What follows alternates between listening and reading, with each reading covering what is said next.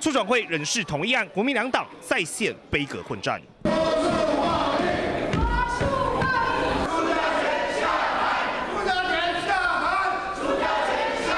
国民党提案朝野协商，企图以时间换空间，却遭院长苏家全直接不处理否决，闹剧开演。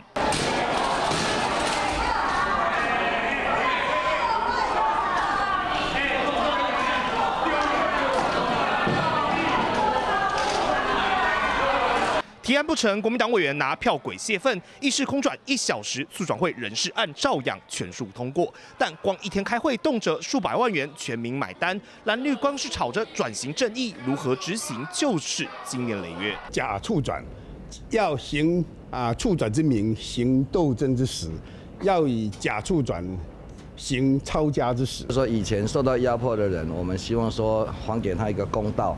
啊，所以历史呢，其实是。